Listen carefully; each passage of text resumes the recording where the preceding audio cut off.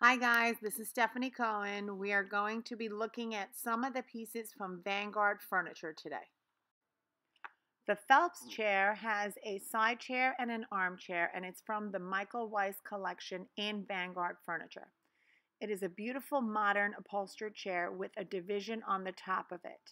It also has a wood top which can correlate with the base of the leg. It is a tapered, clean leg and the profile of the chair is very clean and narrow.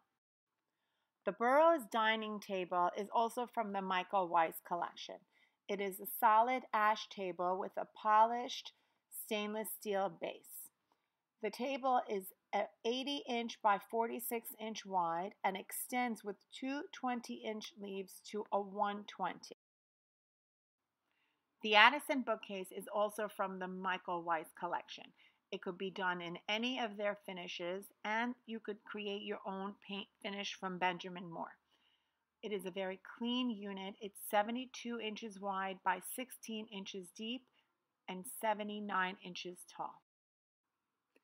It comes standard in the espresso finish. The Hillsboro buffet is also from Michael Weiss. The piece is 72 inches wide by 19 inches deep by 35 inches high. The buffet is a four door buffet with adjustable shelves with square hardware.